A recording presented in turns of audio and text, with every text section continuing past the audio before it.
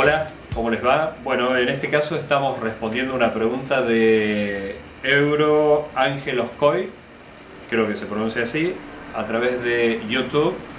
Él nos pregunta que bueno, que tiene, que había encontrado el tema de las remachadoras y que la pregunta concreta es si eh, de qué depende el ancho o el largo de los remaches con los que puede trabajar con una remachadora.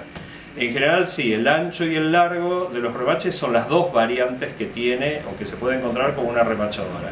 El largo en general depende de que nosotros vamos a elegir del remache, depende del material que vamos a atravesar, de todo lo que queremos atravesar y que después al apretar la remachadora vamos a hacer que se forme algo que va a frenar una cosa con otra. O sea, en general cuando usamos remaches es que queremos unir dos piezas.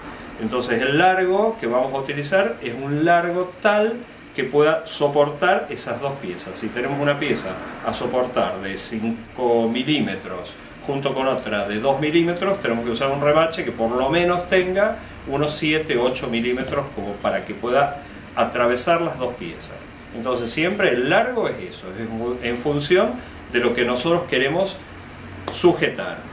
Y el diámetro es algo también similar, o sea, depende del tamaño de lo que nosotros queremos sujetar y por ende del agujero que vamos a hacer o del agujero que muchas veces tenemos. En algunos casos son cerraduras, en algunos casos son otro tipo de elementos que ya tenemos el agujero hecho. Entonces vamos a elegir el agujero, el diámetro perdón, del remache en función del agujero eh, que ya tenemos. Y si no, del tamaño de la pieza vamos a elegir, en función del tamaño de la pieza, vamos a elegir el diámetro.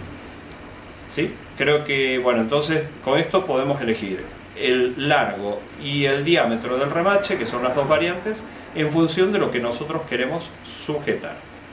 Muy bien, espero haber sido un poquito claro. Gracias por todo.